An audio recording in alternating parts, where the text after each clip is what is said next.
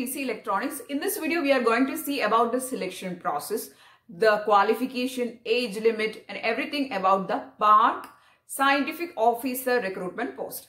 Okay, so uh, we'll be seeing uh, that what is the selection process, what are the various parts of selection, what are the type, what is the type of examination. We'll be seeing all the details about the BARC Scientific Officer Preparation Post. I have all the details in my hand. Let us see quickly what is the uh, the requirements, the qualification and what is actually the selection process for BARC Scientific Officer. First of all, uh, this recruitment that is for the post of scientific officer, it is not for the immediate job. It is actually an academic training program. This selection is for an academic training program. That is, if you pass this examination, if you uh, clear the last stage, that is an interview, you will be selected for a academic program that is uh, having two uh, sessions of academic programs are there. One is for one year academic program and next one is two year academic program. I'll be uh, explaining that one year and two year what is the difference later. Anyway, it is for a academic training program you are being selected and after that if you complete that training program successfully, you will be posted in the BARC various locations all around the India as scientific officers. That is the thing going to happen. Don't think that it is a direct recruitment. It is going, it is, it is a direct recruitment anyway, but you have to undergo a training of one or two years. Okay. So that is, it is for a academic program. Now, what is the selection process? What are the various stages? First one is a screening test. That is an online uh, test you have to undergo.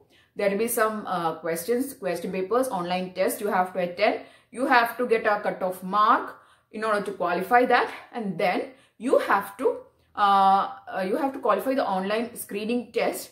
Next is gate score. Gate is very much important for all the bar examinations mainly. So you have to get a valid gate score if, if you have to pass the second stage of selection. So first they will be testing you uh, for your online uh, that is your subject knowledge. You they'll be testing and then uh, if you uh, pass the screening test then they'll be checking whether you are whether you are having a valid gate score. Only if you have a valid uh, gate score you will be called for the interview which is the third step. Okay so the third step is interview. So that is the selection process. First one screening test. Second one uh, gate score which is which should be valid. Then third one is uh, the uh, the interview. Okay so these are the three steps of selection for BARC scientific officer. Next one, as I said, if you undergo all these uh, processes, that is if you pass the last stage of selection also, then you will be undergoing a one year orientation program in various BARC training schools and you have to uh, complete the training program by getting a 50 percentage of mark. So during the entire coursework, or after completing the coursework, you have to get a 50 percentage mark. Okay, so that is also very important. Next, if you pass uh, the training with 50 percentage mark, you will be posted in various regions of BARC as scientific officers. So this recruitment is for the Department of Atomic Energy, that is BAR, Bhabha Atomic Research Center. Next is the important dates. Anyway, I'll share the uh, link of this notification and everything in my description box. Anyway, there is still, uh, you can apply for this post. The, activate, uh, the, uh, the application link is still active. The last date is 3rd of February. The application date has already been started from the 6th uh, of January to the 3rd of February. Okay. And you have to uh, undergo the online test in March. That is in between 13th to 19th of March. The uh, examination online test that is the first stage will be happening. Also you have to uh, enroll your gate scores if you have a valid gate score. You have to enroll your uh, gate scores on the 1st of April 2020. Okay. Next is about the qualification of uh, the BARC that is BE or BTech or integrated MTech. I'm talking about the engineering branches. There is also a vacancy for postgraduates of science I'm talking specifically for the electronics people. So you should have a B or BTech or a integrated MTech. That is integrated means BTech plus one year uh, of total five years of uh, course which is having a uh, that is finally you will be getting an MTech that is called an integrated course right? So you you uh, you have to uh, have either of this B or BTech or integrated MTech with 60 percentage of marks okay? And also as I said for the second stage you should have a valid gate score. So if you are preparing for bar you have to side by side concentrate on your gate exam also. Only then you will be getting selected. Okay, now what is the valid gate score you should have? They will be only updating after your first stage of selection. That is only after the uh, screening test is happening. Only after fixing the cutoff for that screening test, they will be talking about the gate score. What is the valid gate score? They will be talking. Okay, now what is the vacancy for electronics post? We are mainly concentrating on electronics uh, branch, right? So, what is the uh, vacancy details is that there are 25 vacancies for the one year course. As I said, there is also another course which is for two years.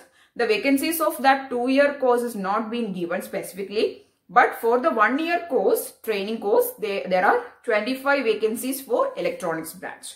Now the training schools of BARC are at Mumbai, Indore, Kalpakkam and Hyderabad.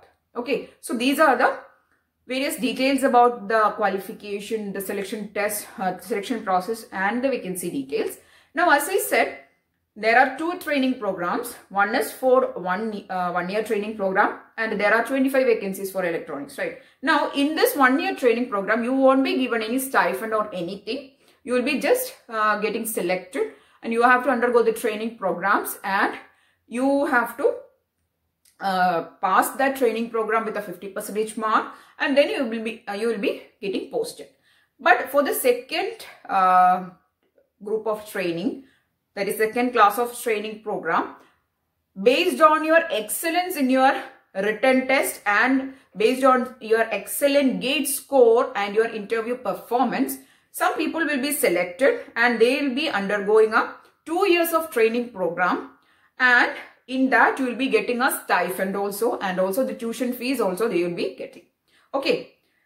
So uh, the number of vacancies for that uh, post is not that is that for that class of training is not given anyway so uh, my request is that if you are preparing for bar uh, try to prepare uh, as good as you, uh, you you could possibly because you if you get a stipend that is a very good thing right okay that is a two type of training programs next is the age limit Age limit is uh, as per the uh, the date August 1, 2020. They are saying that uh, the age. For general category, 26 years is the age limit. For OBC, it is 29. And for SCST, 31 years is the age limit. There will be age relaxation for the reserved and the other categories. Next, applicants should be Indian and applicants if they are working in any of the government organization, they have to give a no object objection certificate. That is NOC they have to produce. Okay, that is all the uh, criteria. And is there any fees for uh, application for this bond? Yes. For the general category and male candidates belonging to the general category, there is a 500 rupees fees for applying for this post. And if you are female or SCST or any uh, reserved category, you are exempted from the fees. Okay, so as I said, you can apply from January 6th. So it is already active. The application link is already active from January 6th to February 3rd. Okay, now what is the syllabus? It is mainly GATE syllabus itself. Whatever you are studying for the GATE is uh, equal to the, uh, the syllabus for GATE. If you see in the internet, there is no much question papers or any other details available regarding the gate, uh, sorry, eh, regarding the BARC preparation.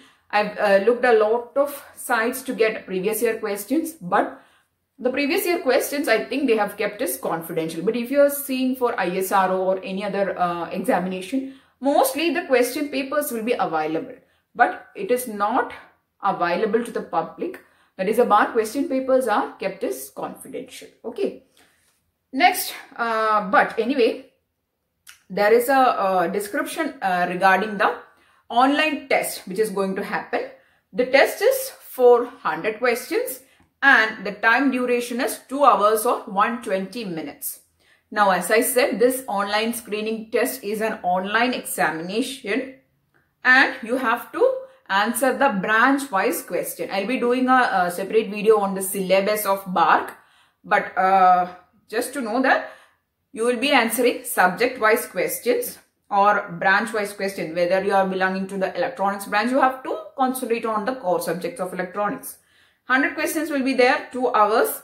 And the marking is 3, uh, 3 marks for the correct answer and 1 negative marking is given for the wrong answer. So these are the some details about the, the selection process of scientific officers for BARC. So as I said, it is for the academic training program you are getting selected. But if you are getting trained, you will be posted as a scientific officer if you successfully complete the training program. Okay, so uh, I hope this video was useful for your uh, preparation. If you are preparing for or if you are willing to apply for this post, please do apply for this as soon as possible. It is a very good offer. It is a very good uh, organization to start your career with.